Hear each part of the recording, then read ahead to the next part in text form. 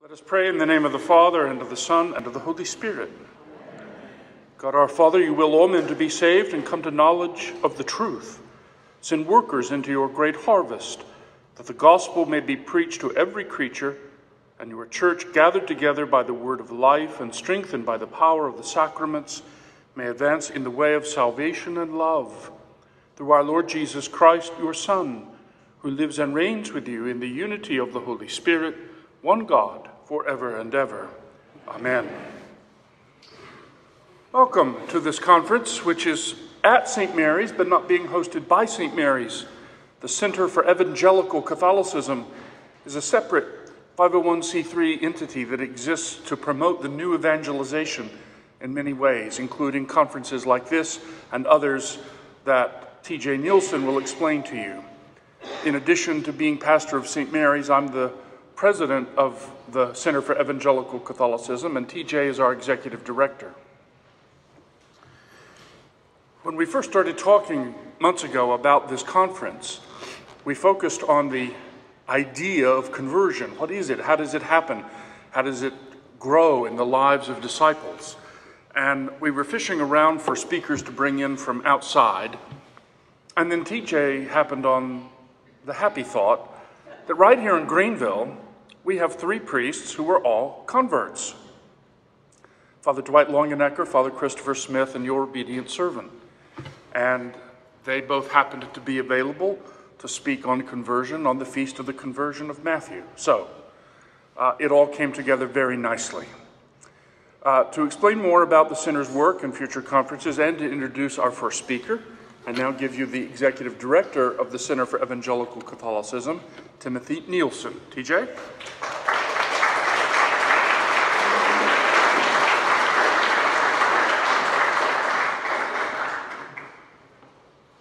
Good morning. I'm going to try to be super fast because we're trying to keep on a timeline because, as we all know, the real religion in South Carolina is college football. So that's why we're trying to be done by noon because, depending on your various team, there's good matchups. But restrooms are through those doors. For asking questions, we had it up here. I sent it in an email and then over there. But we're using the app Slido, which it's great. You can actually, I guess, text while someone's talking and not be rude.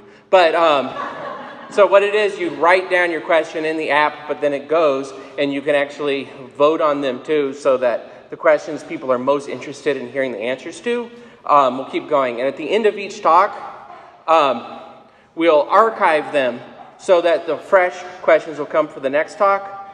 But during the little panel discussion we'll be doing at the end with all three priests, we'll bring back the other questions. So if your question didn't get asked at the end of a talk, that's okay. Um, there's still a chance it might come back.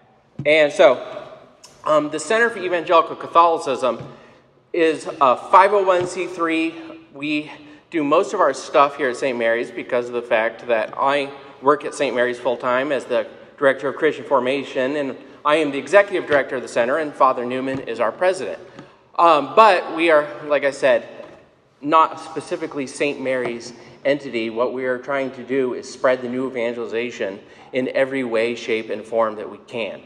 And so, one of the things that we do is we started actually an upstate business leaders breakfast.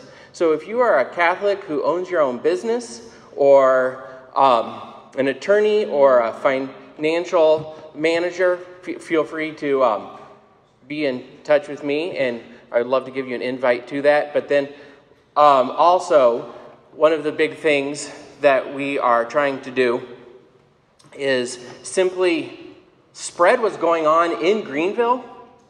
Because if you're not from Greenville or if you've been to Mass anywhere else in the rest of the country, Greenville's a special place where there are a lot of wonderful parishes. When you look at the fact that we invited three convert priests in Greenville who I think are three of the best Catholic speakers in the entire country. But when I was thinking about that afterwards, we could have invited multiple more convert priests in Greenville. When I started thinking of Father Jonathan Duncan, Father Rhett Williams over at, um, they all have in common that they are all converts. And so, anyway, this is the amazing thing when you look at the the current moment in the church. That where does reform happen? It happens in the parish. It happens on the local level. And so, anyway, Greenville is one of the true sort of bright spots of what's going on in the Catholic Church. So, anyway, go to our website, www.evangelicalcatholicism.com, to find out more of what we're doing. Um, and I guess it's not up there anymore, so I was pointing behind me. But anyway, um, I am pleased to introduce our first speaker this morning, Father Dwight Longenecker. That Father Longenecker was brought up as an evangelical in Pennsylvania, but then he attended college in Greenville at Bob Jones University, where he got a degree in speech and English, and then he went on to study theology at Oxford University, and where he was eventually ordained an Anglican priest. And he lived in England for many years, where he worked as a curate, as a school chaplain in Cambridge, and then as a country parson on the Isle of Wight. And after, I'm not going to get too much in his story because he'll be talking this himself, and after um, a while he realized that him and the Anglican Church were on divergent paths. And so in 1995, Father Longenecker and his family were received into the Catholic Church. Father Longenecker spent the next 10 years working as a Catholic write, freelance writer, contributing to over 25 magazines, papers, and journals in Britain, Ireland, and the United States. And he's also written 15 books and booklets on the Catholic Church. In 2006, Father Longenecker accepted a post as chaplain of St. Joseph's High School here in Greenville, which brought him back to the upstate. And also, in 2006, in December, he was ordained as a Catholic priest under the special provision for married former Anglican clergy, and this is before the ordinariate even existed. Um, and he was ordained here at St. Mary's. Um, and now he serves as the pastor of Our Lady of the Rosary on Augusta, which, if you, if you have not been over to see their beautiful new church, you need to do so. It is gorgeous. And anyway, Father Longenecker enjoys movies, blogging. His blog, Standing on My Head, is one of the most popular blogs in the Catholic Church and also worth checking out. And him and his wife Allison have four children, two Labradors, and a bunch of other pets. And we're very fortunate to have with us this morning Father Dwight Longenecker.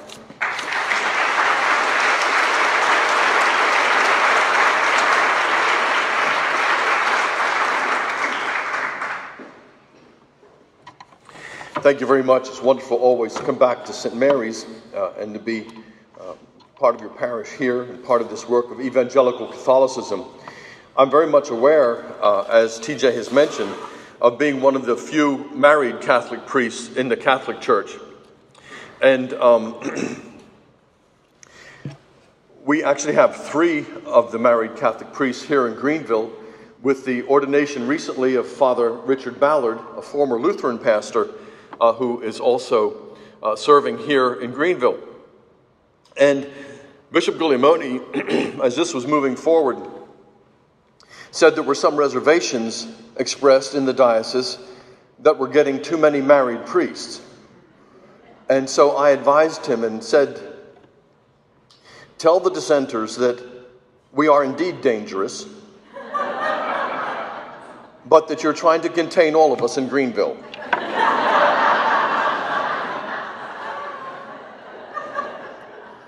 So, so I would like to take the opportunity of thanking all the Catholics in Greenville for the warm welcome we have received um, and invite you to join our dangerous cause. And some people have asked, well, what is it like to be a married Catholic priest? And my short answer is always to say that soon after I was ordained, the National Catholic Register interviewed me about this new life.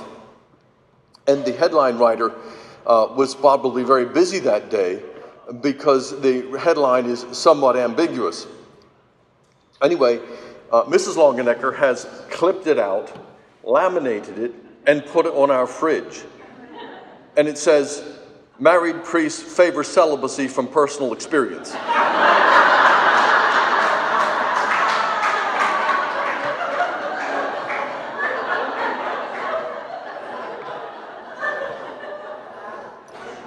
That's her joke, not mine. I would like to share uh, my conversion story with you today from a personal point of view. The talk I have prepared is not uh, particularly replete with theological footnotes and references uh, because it's a personal story.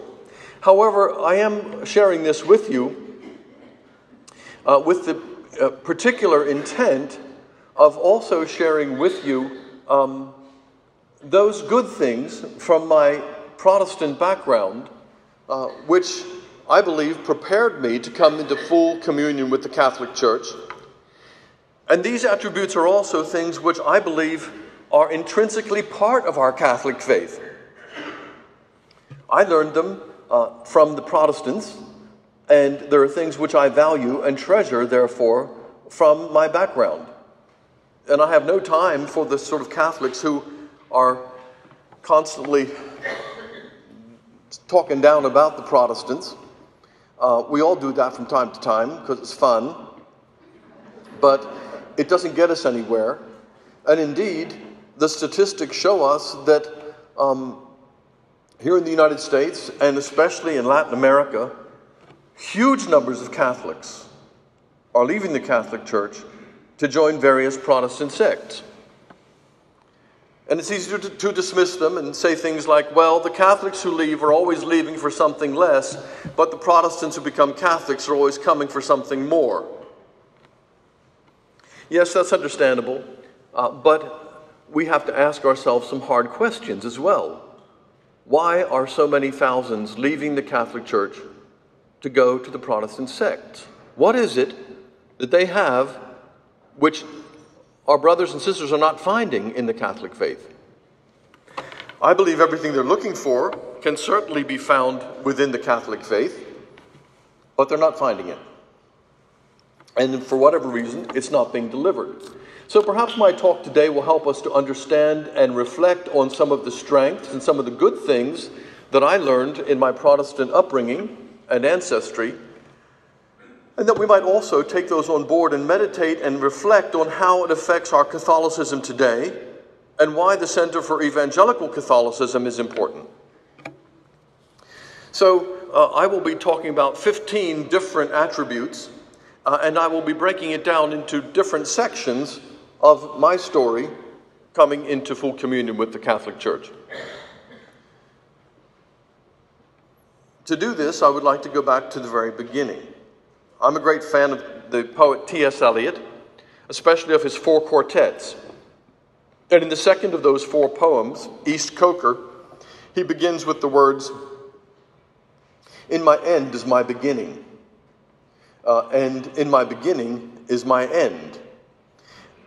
In my end is my beginning was the motto of Mary, Queen of Scots, the one who was beheaded by Elizabeth I.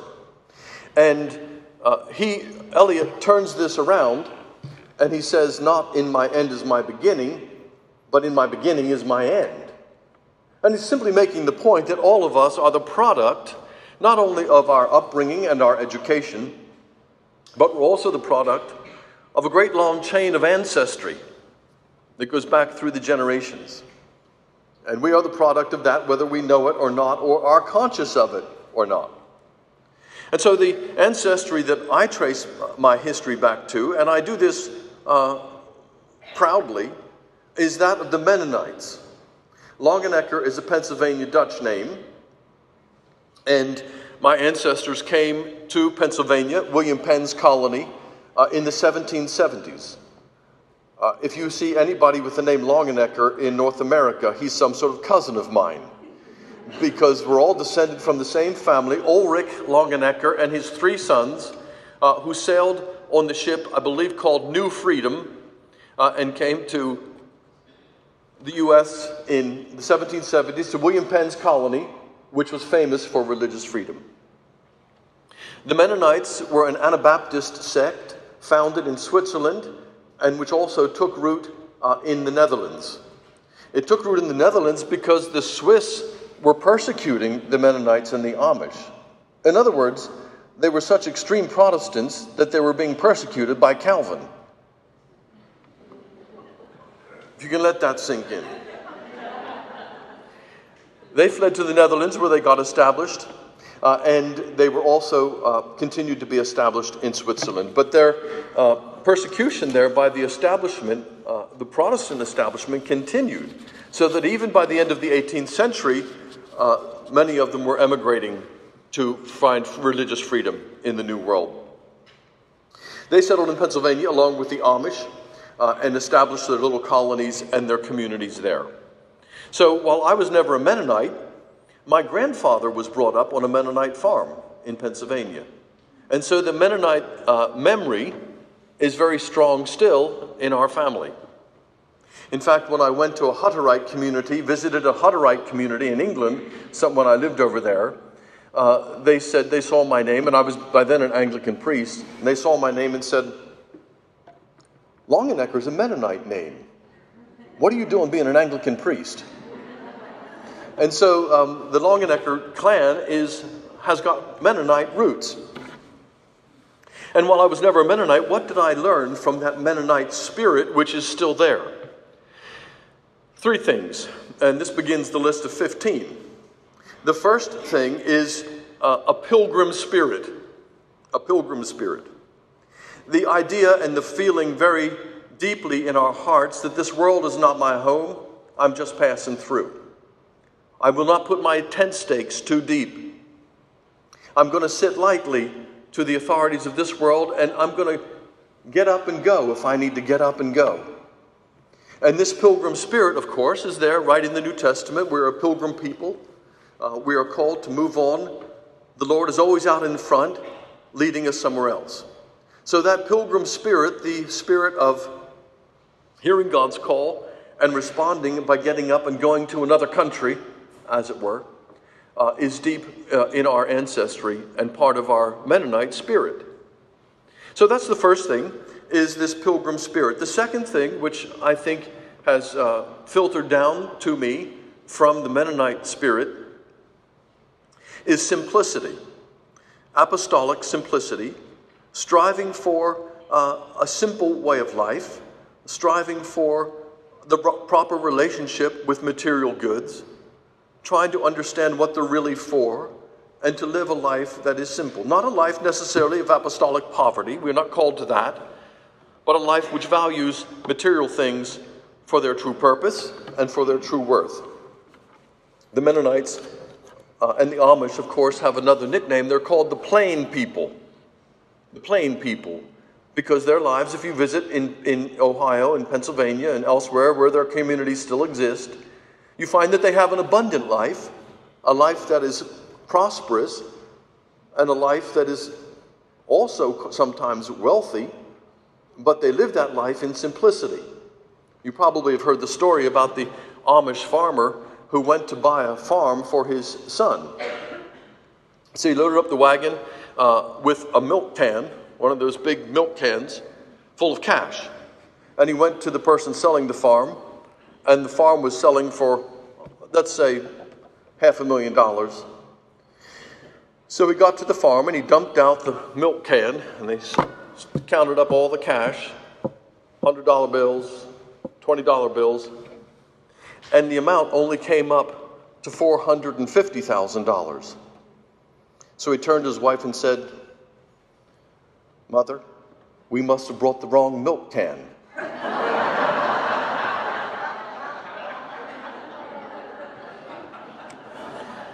So, despite the wealth they might have, they live a life that is simple, a life that is striving to uh, value things for their own worth. The third aspect of the Mennonite lifestyle uh, is the principle of subsidiarity that what is local is best, that the solutions to problems and the initiatives to be taken are best taken at the local level. The local level being the family, the local church, the parish, the local community. That solutions are best found and initiatives best taken at the local level. The Amish and the Mennonite have strong local communities. They distrust large bureaucratic solutions. And that simplicity and lo- local uh, emphasis is very strong. And some these are things which I recognize that I have inherited. And those first three are therefore the pilgrim spirit, a spirit of simplicity, apostolic simplicity, loving things for their own worth. And the third thing, subsidiarity, that people are best empowered to do their very best at the local level. The top down solutions by big government and big diocese and big church and big organizations are not the answer. So, this is the first chapter of four different segments which I would like to share with you the Mennonite background, the Mennonite ancestry. The second aspect that I would like to share is my personal evangelical home. My parents were not Mennonite. Uh, we were brought up in a little evangelical independent Bible church in Pennsylvania. The pastor was a Bob Jones graduate, and this little church was founded in the early 1960s by a group of lay people who were disenchanted with the mainstream Protestant denominations and in true sort of American entrepreneurial style said, We can do church better than them. How hard can it be? So they just got together and started their own church. This little church uh, was where we were brought up. My dad was a deacon and a Sunday school teacher. We went to church morning, Sunday morning, Sunday night, and Wednesday night. And if anybody in, complains about Catholic homilies, the length of Catholic homilies, I say, hey, I grew up going to church three times a week and the sermons were 45 minutes. And if they weren't, the people complained to the pastor because they weren't getting their money's worth. And so this was the sort of um, strong Christian evangelical home in which I was brought up.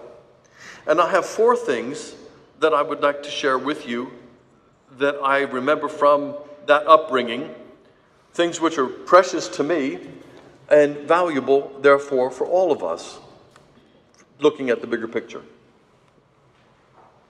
The first of these is an emphasis on personal conversion. An emphasis on personal conversion. This is number four on my list.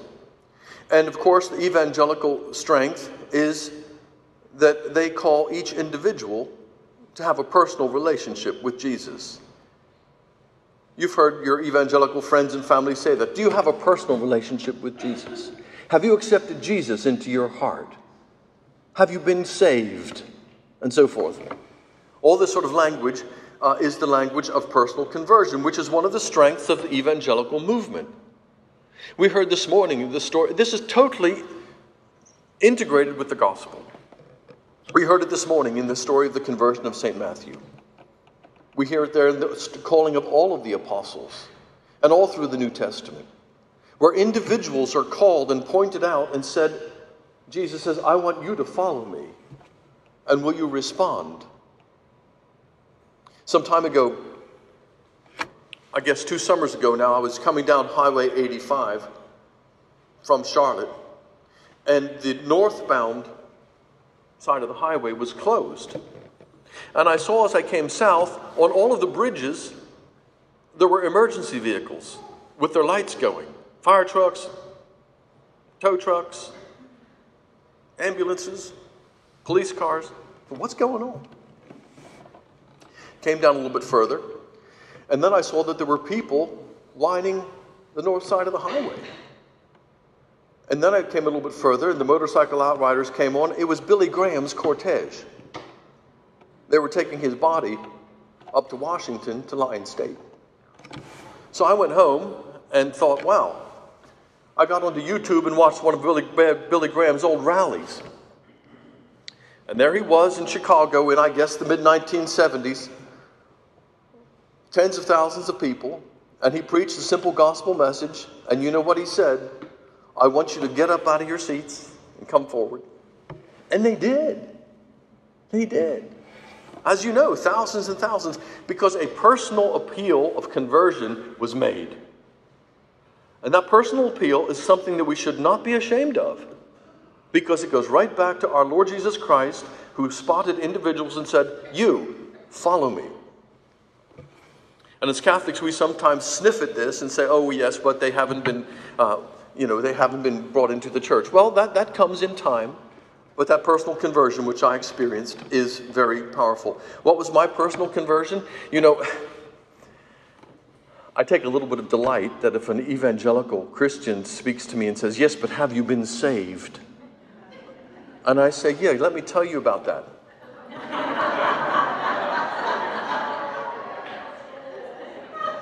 Because I was five years old and came home from church one Sunday night and said to my mother that I wanted to go to heaven with the rest of the family and not be left behind.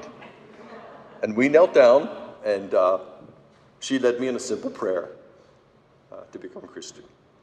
And some people say, How terrible to frighten a five year old with hell. And I always say, Well, I'd rather be scared into heaven than soothed into hell. And of course, that five year old decision, decision of a five year old, was the seed of a real personal conversion. So, this is the thing which uh, we gain from the evangelical. I gained from the evangelical home. The importance of a personal commitment. That Jesus Christ really can call individuals and say, I want you to follow me. And that that conversion can be and will be, if it's sincere, life changing. The fifth thing on my list, and the second thing from my evangelical home, is a missionary spirit a missionary spirit. Along with the pilgrim spirit of getting up and going where we need to go, was also a missionary spirit. We uh, understood that the heroes of our faith were the missionaries, men and women uh, who uh, heard God's call and went to the uttermost parts of the earth, as the King James Version says, to share the gospel with other people. Not to bully them into the church or scare them into the church, but to share the good news of Jesus Christ. And that really, all of us were called to do that. I can remember going shopping with my mother to the farmer's market, and she'd stop at the bakery stall and order five bear claws and sticky buns, and then say to the person behind the stall, Have you ever met the Lord Jesus as your Savior? And I'm 12 years old and going, But that missionary spirit is the, the next thing from our evangelical home, which we understood was part of the call. And it was something that everybody was meant to be involved in. That missionary spirit was something that I took to heart as well. When I was here at college, uh, I was a member of Holy Trinity Anglican Church, the little uh, stone church just stone's throw from here, the one with the red doors just down here. And we would go there um, for evensong on Sunday nights. And it was there that I heard the call uh, to actually respond to be a priest. I had by this time decided, I was an English and speech major, I had this time, by this time decided in my junior year in college that I would be uh, an English professor at one of these brick universities with ivy growing up the walls. And I would ride around on a bike with smoking a pipe with a tweed jacket and a pile of books under my arm and how I was going to smoke a pipe and have books under my arm and ride a bike at the same time. I, I hadn't quite worked out. And I would be an Episcopal or Anglican priest part time. And it was there that uh, on one spring evening, uh, the prayer I can still remember at Evensong was that we might serve the Lord in beauty, simplicity, and singleness of mind. And the Holy Spirit took that phrase, singleness of mind, and gave it to me. And I decided that therefore I was to be a priest. At that point, an Anglican priest, never envisioning that some 30 years later I would be ordained as a Catholic priest a short distance away here at St. Mary's. So the missionary spirit is part of uh, what I received from the evangelical home. The third thing, and the sixth on the list, is the love of sacred scripture. The love of sacred scripture. You know, of course, the Protestant doctrine of sola scriptura, only scripture. And while, of course, uh, I have moved on from that, it is certainly that love of Scripture, a genuine love of Scripture, an appreciation for sacred Scripture, which is a great treasure from my upbringing. We had to memorize Bible verses from the King James Version, and I can still quote them today. And that love of Scripture and appreciation for Scripture is something which has been with me for the rest of my life and something which is a great treasure from that evangelical upbringing. Do I now agree with all the interpretations of Scripture? Of course not. Uh, again, we've added to that and moved on from that. But that core of a love of Scripture is very important. And it's something which I have to admit, uh, very often our Catholics are sadly ignorant of. I feel sometimes like a lot of Catholics think the book of Philippians was written to the Catholics in the Philippines.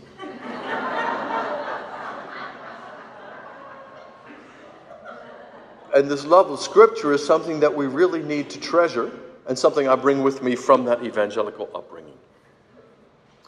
The seventh thing on my list uh, is uh, uh, an understanding of the faith as being supernatural.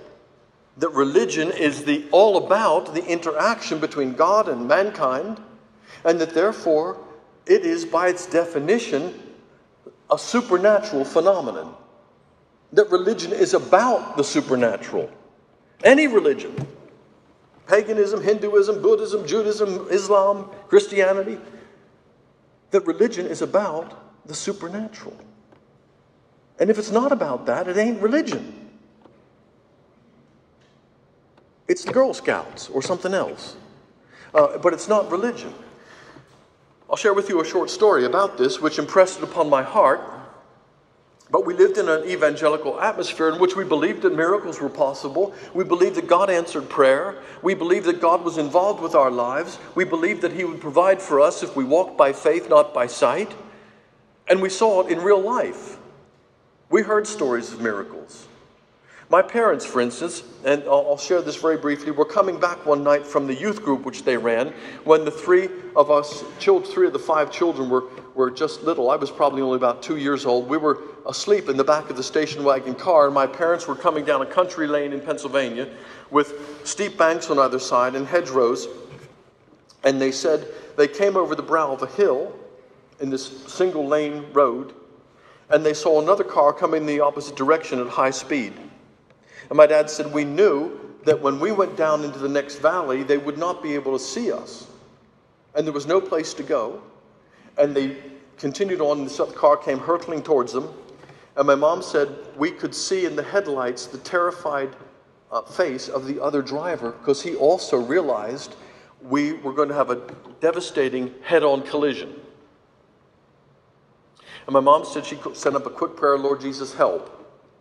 And the next thing they knew, they were looking in behind the car, and the taillights of the other car were receding in the other direction. Something had happened.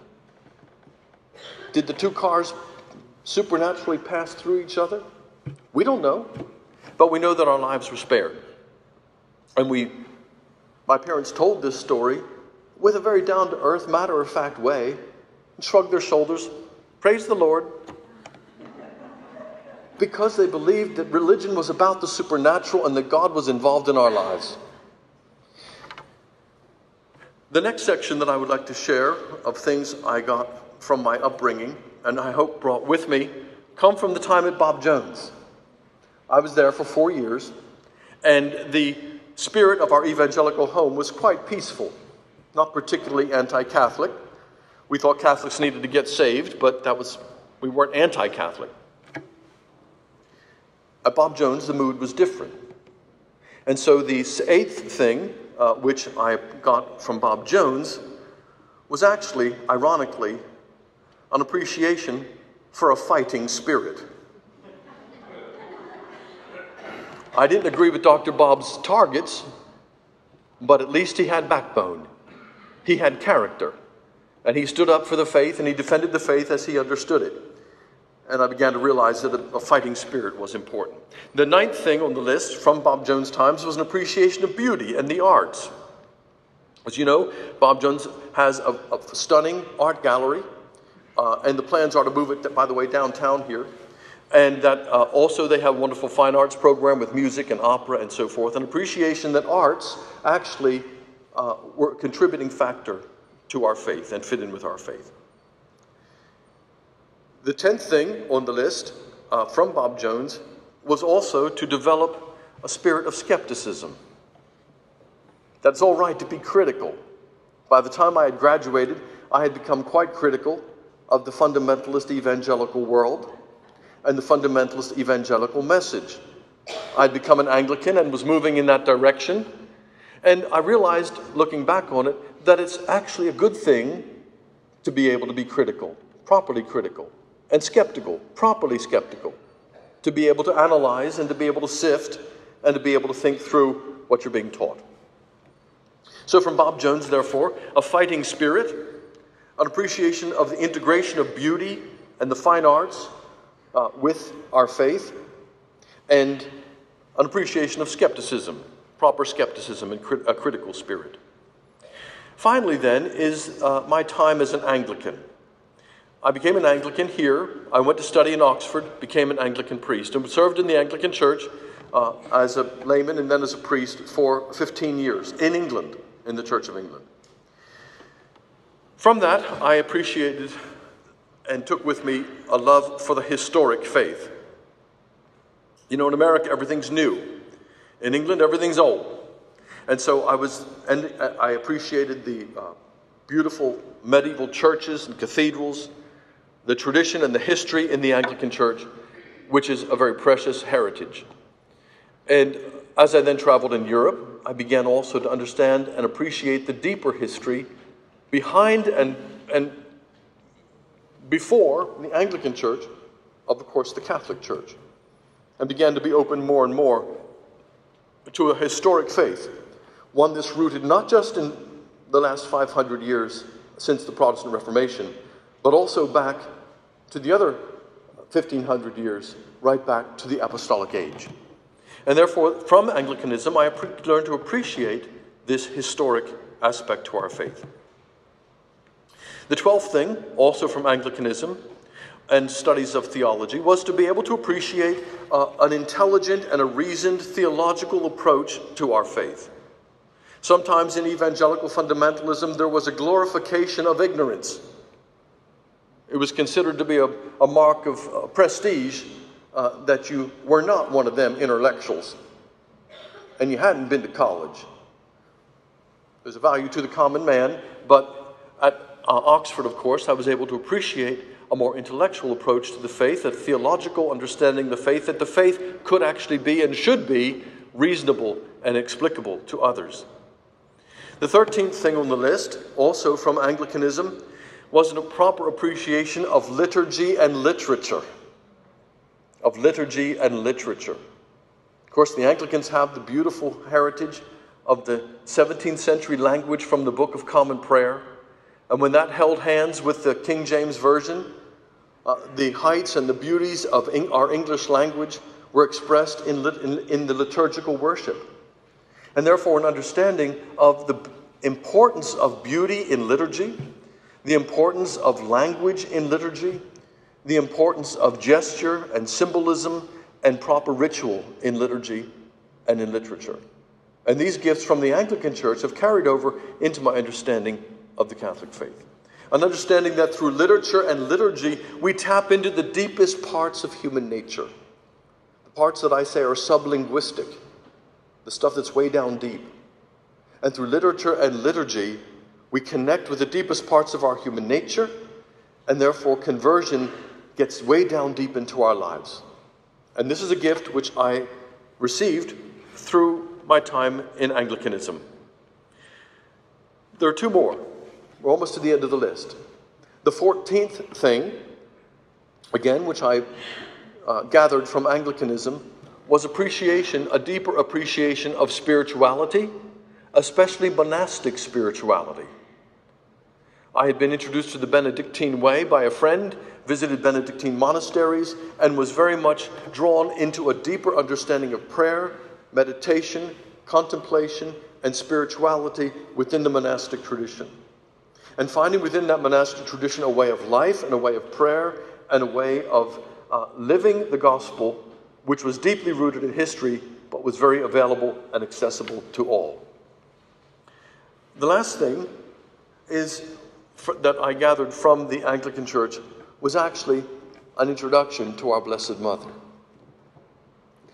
The Anglican Church, at its higher end, is very Catholic in its understanding of sacraments and doctrine and devotion. And one of those devotions is the devotion to uh, Our Lady of Walsingham. Our Lady of Walsingham.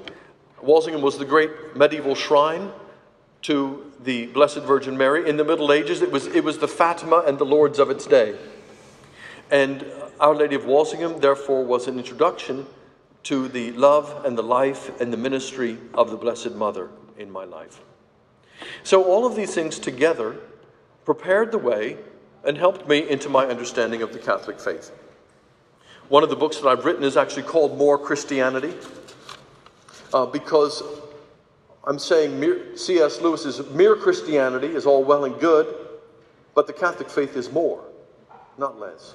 And one wants to gather up all of these riches from the Protestant tradition in all its different ways and say, I have found those to be fulfilled and completed most fully in the Catholic faith. Sadly, a good number of the things on my list are downplayed in our Catholic faith or ignored by many Catholics or misunderstood by many Catholics or even dismissed and despised by some Catholics. And therefore, I would say that we need to pull all these things together for our Catholic Church itself to be as rich and full and complete as it can be. That these strengths from the Protestant traditions are actually our strengths too. And the more we embrace them in the proper way, in the fullness of our Catholic faith, the more we will be enriched, and also our evangelical brothers and sisters will be enriched. I have a special devotion to St. Therese of Lisieux, and there's a story about her at Christmas being presented with a basket of sweets and gifts. And her sisters say, Which will you have? And she grabs the basket and says, I will have all. and that's how I feel about our faith.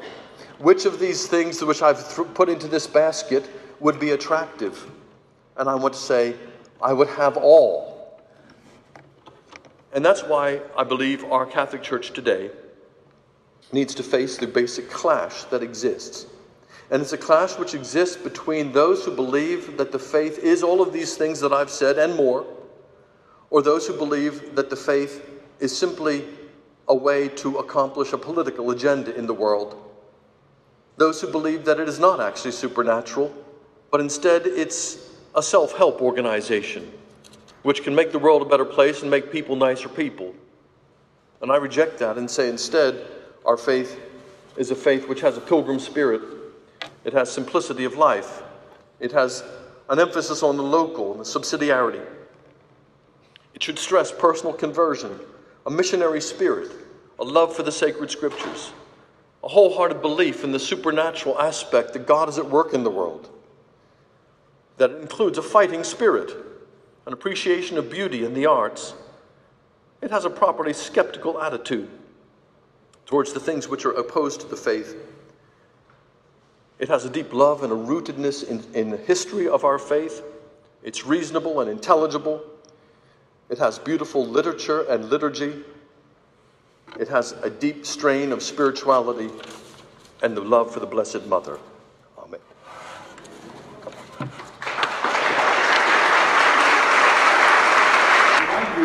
Want to submit a question, use the app Slido, which you can download on your iPad, iPhone, or if you're one of those sickos with an Android phone, you can use that.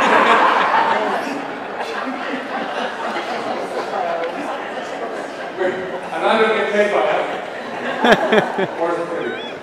Father, if it is possible to approach full communion with the church it's also possible to depart from full communion with the church. It's a two-way street. The first question is about traffic in the other direction. Should priests like Father James Martin and others who mislead the faithful and teach false doctrine be booted out or nudged along the road to get out if, in fact, what they're teaching is not the authentic? Yes, it's a good question. Um, I think really each one of us in this campaign must do what they can with what they have where they are. Um, it's not my position to discipline Father James Martin. Th- that is the he's a religious. Therefore, it should fall his correction, formal correction, should fall to his Jesuit superiors. Unfortunately, his Jesuit superiors seem to agree with him uh, and they support him and condone him. Furthermore, there are other uh, members of the hierarchy who seem to be doing the same thing. What can you do and what can I do? Well, on my blog from time to time, there is an article which says, Correcting Father Martin. or, Correcting Father Martin again. or, Correcting Father Martin yet again. And so, with what power I have, what limited power that is through my writing, I attempt to do this in a public way and just correct the false teaching that he's promoting but in fact, um, I agree with the questioner that something needs to be done, but it's beyond my power to do so and our power to do so. It, it falls to his superiors. It's worth noting that Father Martin gave a speech in Philadelphia several days ago, in response to which Charles Chaput, the Archbishop of Philadelphia, published a newspaper column correcting Father Martin's errors and warning people not to be misled. And as soon as Archbishop Chaput published his statement, several other bishops around the country, uh, on social media or through their diocesan communications offices, expressed their support of Archbishop Chaput. Now, the sad news is Chaput turns 75 next week, which means he has to offer his retirement to the Holy Father and will get a new Archbishop of Philadelphia. Let's hope it's not Father James Martin. The, the other thing about Father Martin is that he actually, his teaching is always very, very ambiguous, and he always treads a very fine line.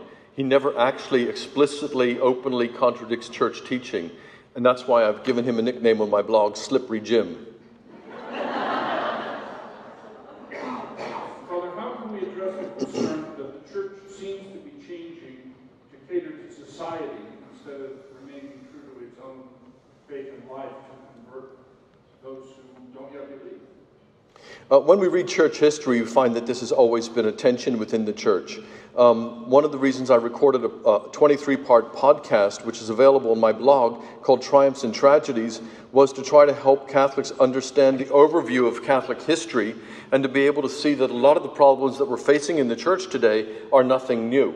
Uh, and there's been a constant tension between the world's, the church's relationship with the world uh, and uh, how, we, how the church actually responds. Do we conform to the world in order to reach the world with the gospel, or are we always challenging the world um, with the gospel? And it's a tension which is always there. And I, I don't have any easy answer because um, it's actually a, a tension which, um, in the long run, will be creative, but in the short run, very often does a lot of damage.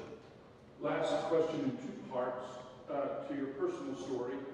How did your parents react to your becoming an Anglican and a Catholic? And part two, have you ever been invited back to speak at Bob Jones University?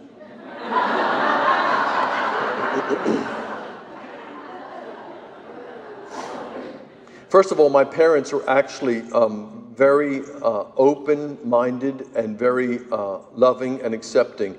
My mom is still living, um, and she lives over in Taylor. She's uh, one of Father Smith's parishioners.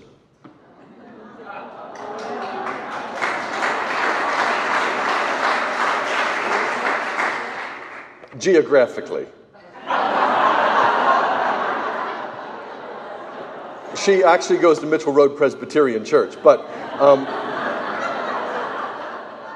but their view their view has always been. Uh, when I went to England, for instance, and said I was going to be an Anglican priest, they sort of said, "We don't know, understand where the Holy Spirit is leading you, but we trust you, and we trust your judgment." Um, my mom came to my ordination here, and she now has seen that her four surviving children and their spouses are all Catholic. Um, she would say, I, I don't agree with you, what you believe, but I, I know I'm glad that you're serving the Lord. Um, and so she's been very open in a, a, genuine open spirit. And when she asks questions about the Catholic faith, um, and I attempt to answer them for her, she's usually says, "Well, I never saw it that way before." And so she's she's very open minded about the whole thing. Uh, the second answer is very short: no.